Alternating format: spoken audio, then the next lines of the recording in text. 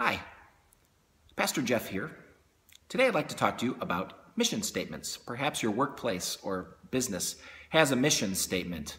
Uh, mission statements are good because they help focus us on one thing or maybe a, a variety of things grouped around one area rather than trying to do everything, which is really helpful.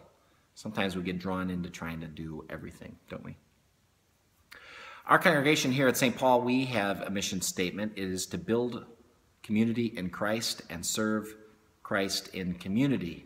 It's about the work that we're called to do together to build community. Whether we're together here in the building or whether we're out serving in the community at large or whether we're together or even apart, it's all about bringing people together. And it's about being reminded that Christ is at the center of our lives wherever we are. I think that's really, really helpful as we plan and go about our ministry here. I have a personal mission statement as well. I developed it when I was starting to put my blog together several years ago. I was really concerned with uh, changes in society and uh, the new digital age and the church and being faithful and what that might mean for us. And I had a lot of questions.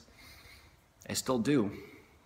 So this is my mission statement I came up with. Of course, you can always be tweaked and you can always revisit it, but this is this is mine. Reforming the church, one conversation at a time. It helps me a lot because it means it's not all on me. I need you to help.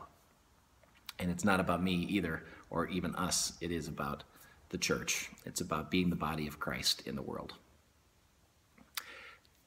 There's a story in Luke's gospel where Jesus tells us his mission statement, what he's here to do. It seems like a long list, and it might feel like it's everything, but I do think it is focused because it's focused on, on freedom and releasing people from all of the burdens that they have in their lives, whatever they are physical, spiritual, or emotional. So here's the story. He comes to the house of worship and he reads from the Bible he pulls out Isaiah and he says, The Spirit of the Lord is upon me and has anointed me to bring good news to the poor, to proclaim liberty to the captives, recovery of sight to the blind, to let the oppressed go free, and to proclaim the year of the Lord's favor. That's his mission.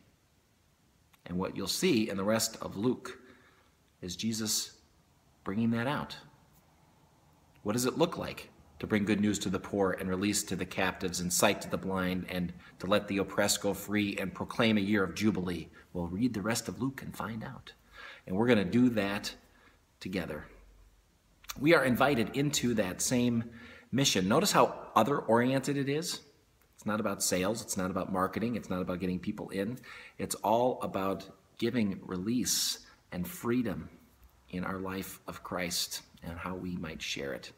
So let's think about that. What might your mission statement be as you go about your life and your faith, thinking about Jesus being active in the world? I'll see you soon. Peace.